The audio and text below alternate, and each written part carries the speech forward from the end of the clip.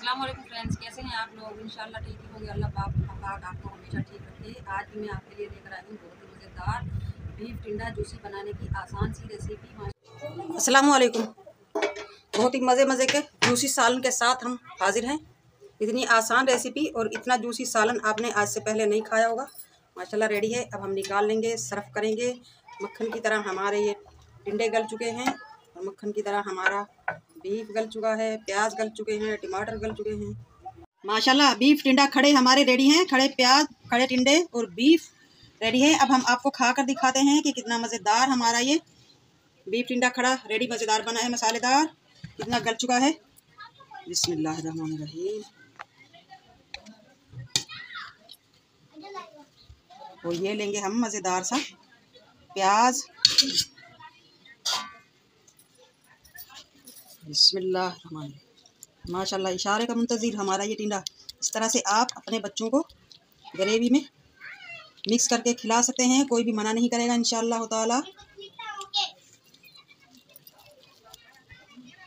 Beef भी हमारा अच्छी तरह से गल चुका है। बहुत बहुत बहुत मज़ेदार और बहुत जूसी आज की मेरी मज़ेदार सी और न्यू रेसिपी अच्छी लगे, कमेंट बॉक्स में ज़रूर बताइएगा। चलें, अब हम आसान सी रेसिपी की तरफ़ आते हैं। बसमीम एक किलो बीफ और एक किलो ही हम लेंगे टिंडे।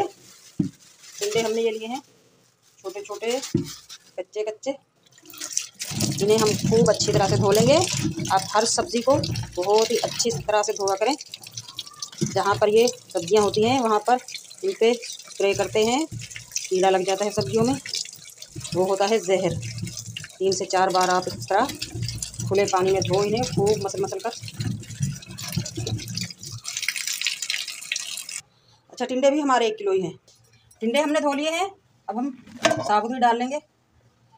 इनके ऊपर ये हल्के हल्के से धुआँ सा होता है। इस तरह आप नाखून से हटा दें, साफ़ हो जाएँगे। अब हम आपको मिलाते हैं टमाटर, हरी मिर्च, लीमू से। दो लीमू का जूस निकाल लेंगे हम, ये आठ दस हरी मिर्च, एक पाव टमाटर और एक पाव प्याज। हम आते हैं खड़े मसालों की तरफ़। चार टेबल स्पून हमने लिया है ज़ीरा, दो तीन तेज़पत्ता, पाँच छः लौंग, तीन टुकड़े दालचीनी के, दो काली इलायची, दो हरी इलायची वन टेबल स्पून साबुत काली मिर्च, ये डाल देंगे। हरी मिर्च, प्याज, टमाटर डाल देंगे।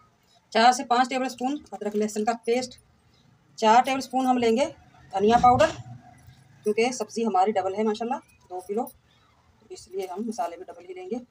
चार टेबल स्पून हम लेंगे ज़ीरा पाउडर। टू टेबल स्पून लेंगे हम काली मिर्च पाउडर। चिकन पाउडर ले लेंगे हम टू टी स्पून इससे भी बहुत मज़ेदार टेस्ट आएगा। और कुटी हुई मिर्च लेंगे हम चार टी स्पून चार टेबल स्पून यानी कि आप इसकी जगह पिसी हुई भी ले सकते हैं। मिर्च और नमक तो आप अपने हिसाब से ही लिया करें। और जायफल जावित्री का पाउडर ले लेंगे हम। ये दोनों मिक्स हैं। वन टीस्पून नमक ले लेंगे हम। टू टीस्पून या आप अपने टेस्ट के हिसाब से लें।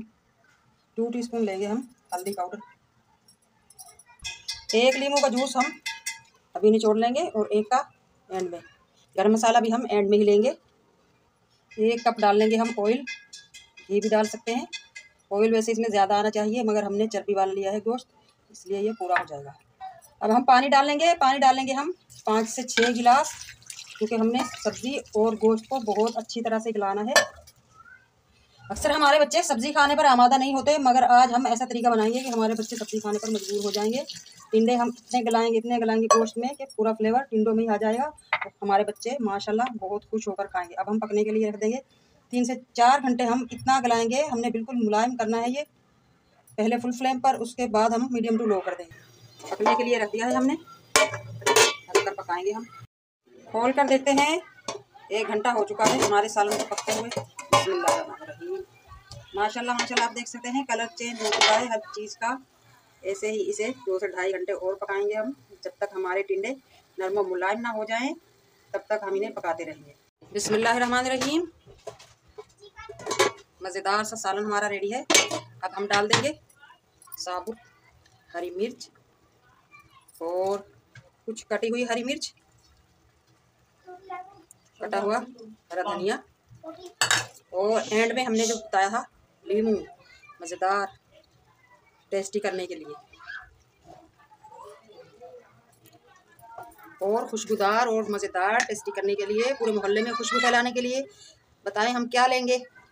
हम लेंगे पिसा हुआ गरम मसाला। और दो मिनट के लिए दोबारा ढक देंगे। ताकि हमारे मसालों की खुशबू हमारे सालन में बसमान रही बहुत ही मज़े मज़े का इतना जूसी सालन हमारा रेडी हो चुका है, माशाल्लाह। रेसिपी माशाल्लाह बहुत मज़ेदार और आसान। आज की हमारी रेसिपी अच्छी लगे कमेंट बॉक्स में ज़रूर बताइएगा।